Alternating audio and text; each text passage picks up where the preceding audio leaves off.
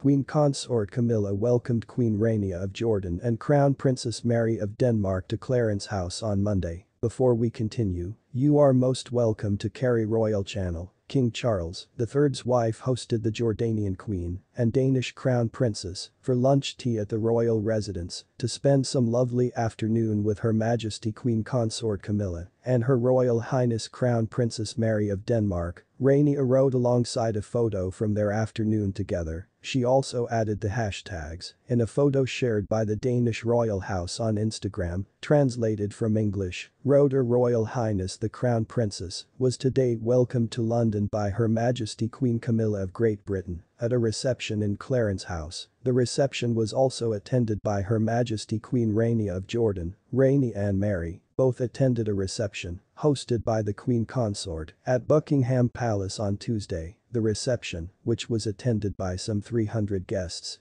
including the Countess of Wessex, the First Lady of Ukraine and Queen Mathilde of Belgium, aimed to raise awareness of violence against women and girls as part of the UN 16 Days of Activism Against Gender-Based Violence International Campaign. Camilla, who has worked to raise awareness about violence against women for over a decade, said in a statement shared by the royal family's official Twitter account today. A remarkable group of people gathered at Buckingham Palace with one aim, to see the end of violence against women and girls. I was deeply moved and inspired by their stories, with determination and courage. We will see the end of these heinous crimes forever. The guests were survivors of gender-based violence, relatives of victims, politicians and charities focusing on the issue. Thanks for watching and have a blessed day.